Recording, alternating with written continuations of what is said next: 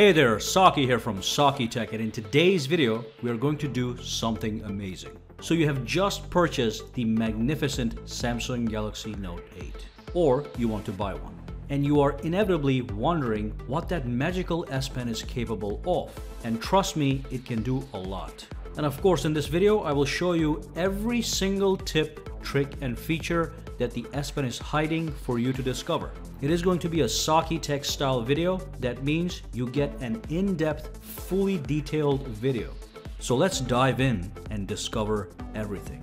And really quickly, make sure to smash that thumbs up button right now. And if you do use Twitter and Instagram, follow me on both at Saki Tech Online. Alright, so in this video, we're going to be learning just about everything about the S Pen. Now let me start off with talking about just some of the basics so here we have a floating icon which can be disabled. If you tap the floating icon, it brings up the air command menu. And we're going to be talking about all these options. I'm going to show you exactly what they do. On top of that, also you can bring up the air command menu by hovering the S Pen close to the screen and clicking on this button. Okay, that brings up the air command menu as well. So immediately you understand that this button is not necessary. This hovering button is not necessary. You can always remove it if you so desire or you can just keep it on the side here. And of course it is a floating icon so you can put it anywhere you want on the screen. In case you want to keep it it does not have to be in your way. So for this demonstration I'm gonna actually keep it floating over here. Uh, but if you want to you can go into the settings and disable this floating icon. Now there's two ways to go into these settings. When you bring up the air command you can either tap over here which will take you into the full S Pen settings or if you go into the settings from here, you can go to advanced features and you can go to the S Pen and that's the exact same settings you can access from, from both sides. So just for your convenience, here's the option that disables or enables the floating icon. So if I tap this, that floating icon is gone. Now it's not going to appear anywhere on the screen. Now again, for this demonstration, I'm going to keep it on there. So let's tap it and it's right there. Alright, so again, I just want to make sure that you understand. I'm going to go over all these settings from top to bottom. But I just want to get out the quick tips out of the way. So the other tip I'm looking at here is the pointer. Now, I don't know if you can see it, but as I hover close to the screen, there's a little dot that appears on the screen that trails the S Pen. So the S Pen is not touching the screen, but there's a little dot that appears on the screen. Now, if that dot is bothersome, what you can do is you can simply disable it and now there's going to be no more dots when you hover the S Pen close to the screen. And for this demonstration, I'm going to actually keep that off. Now let's start off by looking at Air View. So Air View is something that allows you to get previews of items when you hover your S Pen over certain items. You don't have to touch the screen, you simply hover over the screen and like magic, the uh, S Pen is going to give you some previews. So again, if you tap it, it will go into the details and it will actually show you all the things that you're capable of doing. Let me take this guy put it here for a minute. So if you launch your calendar, you can hover over calendar entries and it's going to give you little previews. You can do the same thing in pictures. Uh, you can do the same thing with context and everything. Let me show you a couple examples so you understand exactly what I'm talking about. So let's go to the gallery. Here's the gallery. Uh, let me go into my favorites over here. And let's say that I want to hover over a picture to see a quick preview all I do is I go like that. And then you see a little preview. Now, not only do you get a little preview, you can preview the buttons. So there's the edit button, there's the share button, and here's the delete button. All right. And you can actually delete pictures right from here. So let me take a look. Let's say I don't need this picture right here. I go over to delete. I tap it. It asks me, do I want to delete it? Click yes. And it's gone. So that's the air view.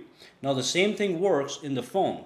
Now, like I said, the same thing works in the calendar view. So if I go to the calendar, let me launch the calendar. And uh, let's just hover over this thing right here. As you can see, it gives me a preview for the 4th of Monday on which I was hovering is saying Labor Day. And again, remember, I'm not touching the screen. Okay. The other thing you can do is if I go to one of these uh, text messages here, let me go to one that I have a uh, address for, like a website address. Okay, there it is. So if I hover over a link, it shows me a preview of that website. Okay, so it could be google.com, amazon.com, whatever. If you hover your pen over the link, you get a nice and little preview. And if you, have, of course, tap it, it takes you to the website.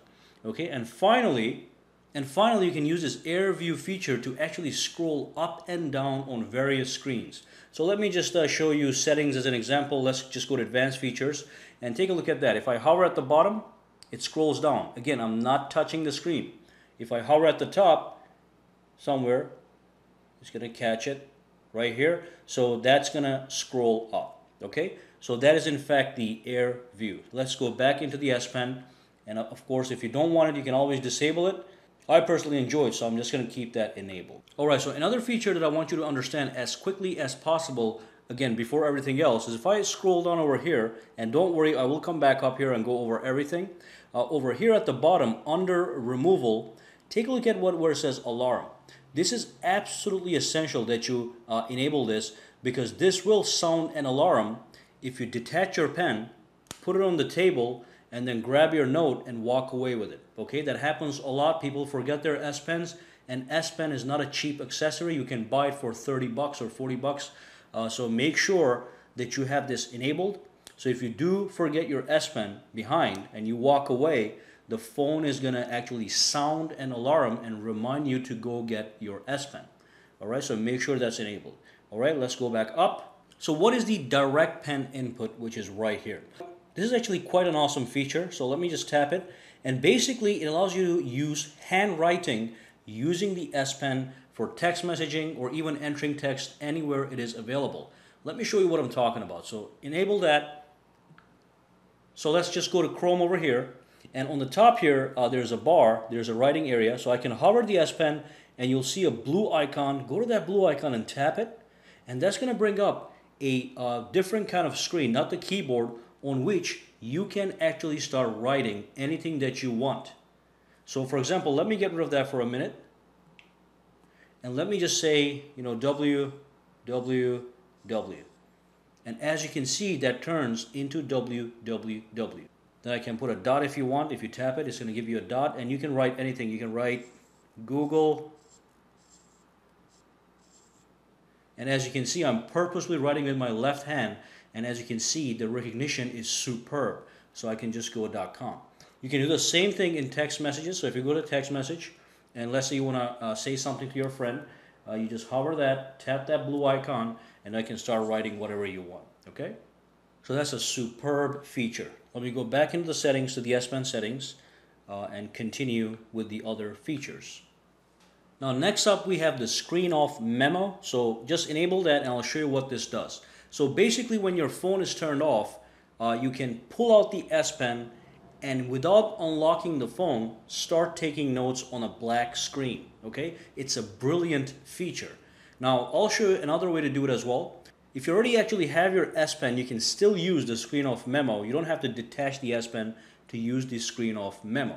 So first and foremost, let me turn off the screen. Hi Bixby, lock the screen. Okay, so the screen is off right now. So you have two options. If the S Pen was already inside your phone, you could have pulled it out and you could have just started writing. Now, if, the S Pen is already out, it's not going to work that way.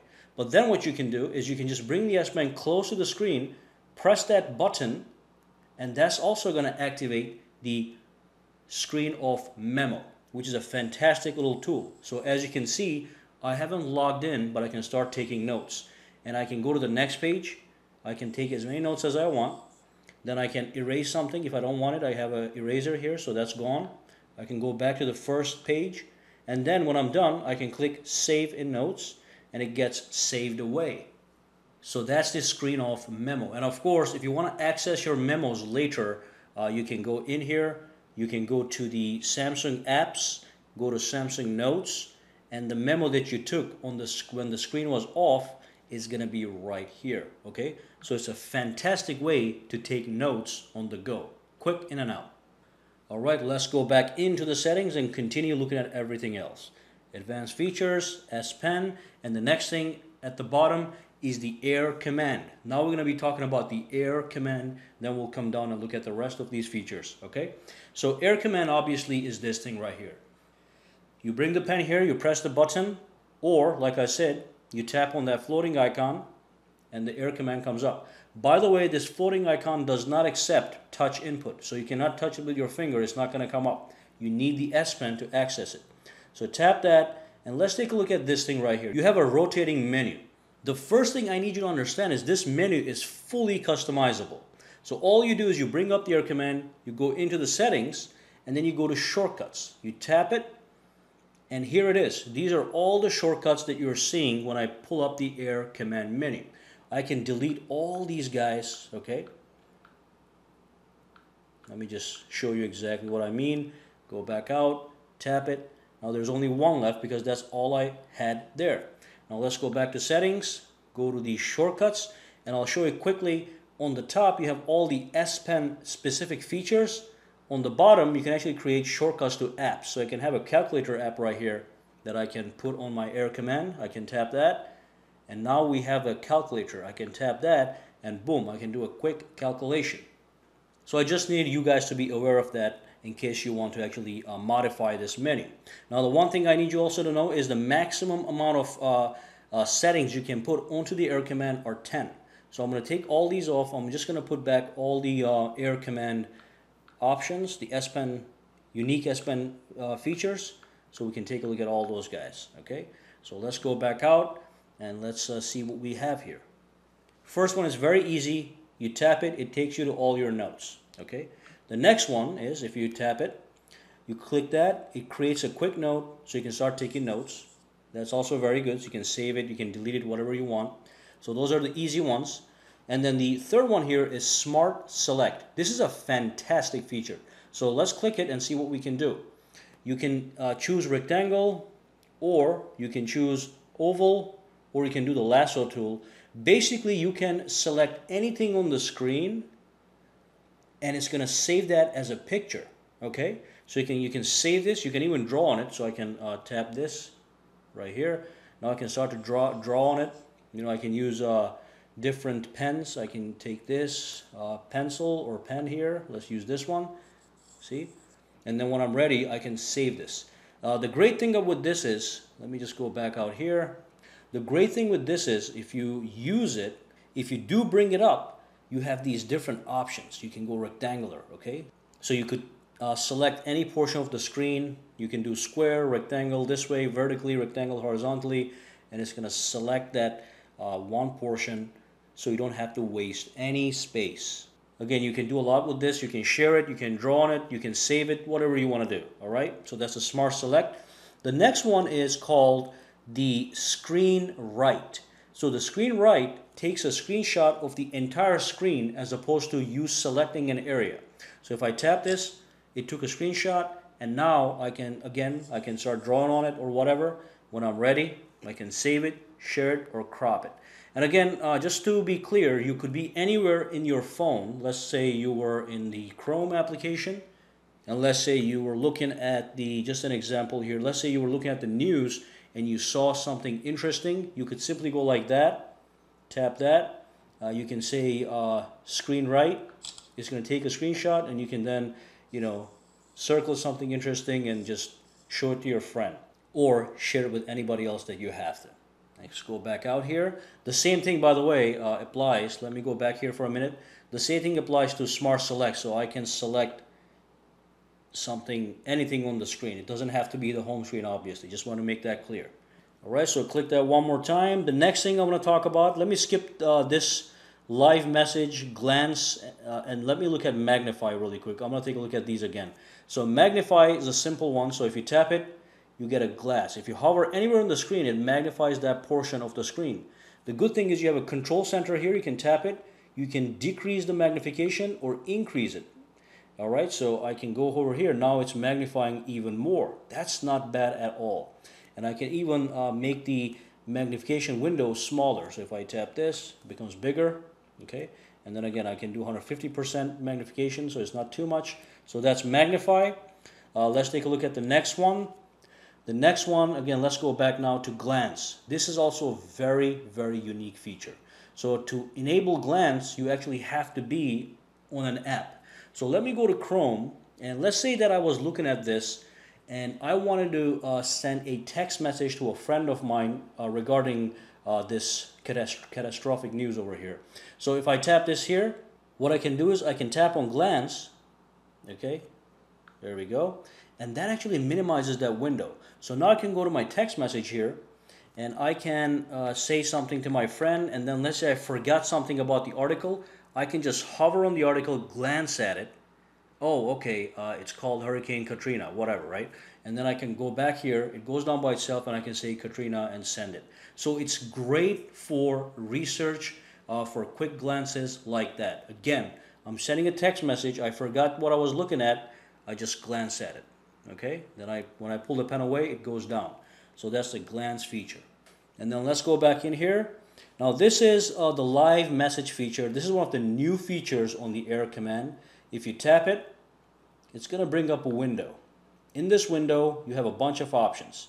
By the way, let me get rid of this thing so you can grab this glancing thing and just put it back in the remove and it's gone. So here uh, you can choose different brushes. You can choose ink, you can choose glow or you can choose sparkle and then you can choose the thickness of the message and then you can choose the color. Basically, this is a live message you can send to anybody, okay? Uh, so let me just write something real quick. Now, uh, I can say play, and that's what's going to go to my friend. On top of that, uh, if I go back over here, let's just click done on that. So it's saving it as you can see. Now it's going to tell you the animation. All right, so forget about that. Let's do it one more time. Let me show you one thing, something more interesting. So if you go to Sparkle here, let's choose a different color. Uh, let's say I'm gonna be, it's gonna be this thick. I can do things like that. Okay, so you can draw a heart. You can say hi, whatever. When you're ready, you can preview that by clicking play. And then when you're really ready, you click done and it saves that. It actually saves it to your gallery, but you can share it right from here if you so desire. So all you do is you tap on share and then it's going to bring up the sharing menu from which you can send as a text message and email. It's going to be a GIF image, so it can, it can be sent to anybody uh, using iPhone, Samsung phone, HTC phone, whatever. All right, so let's go back in there for a second to the Air Command menu. And this time we'll take a look at the coloring option. If you tap on the coloring option, it brings up this screen from where you can actually start to color. Now this might be fun for some people, some people don't care, some people do care. If I tap this, I have the option to start coloring this. I can get the blue one, I can just tap places, you know, I can just color inside. Uh, if you have the patience for it, you can zoom in, so you can do be more precise with the S Pen. If you got nothing else to do, you can do this. It also uh, gives you, improves your skills actually, so that's a great thing to have. And finally, uh, on the Air Command menu, the one that I did skip by mistake, is the translate feature, which is a fantastic feature. So tap on this, it's going to bring up a control center, which is, which is going to allow you to either translate words or phrases. And if I tap this, you see there's a little difference. So that's the that's a word. If I want to translate one word, and if I tap this, it switches to the paragraph mode. So let's go to Google Chrome. Let's just pull up a story here. And let's just say that I want to translate a word from English to Turkish. So you can pick any language you want, by the way. So you have all these options. English, and if you tap this, that's two. Uh, I have Turkish set up here. So it's going to be from English to Turkish. So it's in the word format. So if I scroll, I mean, hover over one of the words, it's going to translate that word. So storm in Turkish is fırtına, right? And uh, again, if I go over here, hover, there we go. Now that's individual word translation. If I want to do entire paragraph, I tap this, now I'm in the paragraph mode. So hover again, it's going to sense the paragraph, it's going to select the paragraph, and it's going to actually translate the entire paragraph to any language you want. So these are all the options you have. Of course, it is using Google's translation engine to accomplish this, so you know that it's very, very accurate. Now anyway, when you're done with this translation feature, you click X and it's gone okay? And then you can bring it back from the air command menu. All right, so that was the air command menu. Let me go back into advanced features, go to S Pen, and that was the shortcuts menu. So I showed you how to edit this. These are the S Pen features. These are regular apps. You can have anything you want over here, up to 10 apps or shortcuts. So let's go back here. Uh, we already looked at the uh, floating icon. We already looked at the alarm. So let's take a look at this. This is very simple. What do you want happening when you pull the S Pen from its casing? So you can either do nothing or you can automatically open air command. So when you pull your S Pen, boom, the air command comes up. Or you can actually create a note. So when you pull your S Pen, it just creates a note. You can immediately start taking notes. Or the way I like it, do nothing so I can choose what I want to do myself. All right, at the bottom here, not a very important feature. It's called the, let me just uh, disable this thing right here, floating icon for now. So here's the power savers uh, uh, option. If you disable this, you may lose some battery power, but not too much. Just enable it. It's not going to hurt you in any way. Okay, so it's going to save some battery life. And the final two options at the bottom are the feedback options. So do you want to play sounds when you insert or remove the S Pen into its cover? So when you put the S Pen back, you get a nice little voice feedback. When you pull it out, you also get a nice voice feedback. You can disable that if you don't care about it. And also, this, by the same token, you also get vibrational feedback. All right, so those are the last two options. And as you can see, we have traversed just about everything regarding the S Pen. We went over all the settings and of course, and of course we looked at every single individual uh, air command option here. All right. Well, thank you for watching this video and hopefully I was able to teach you everything you need to know about the S Pen.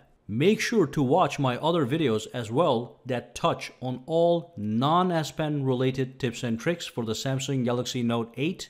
And of course, make sure to subscribe to Saki Tech and give this video a thumbs up.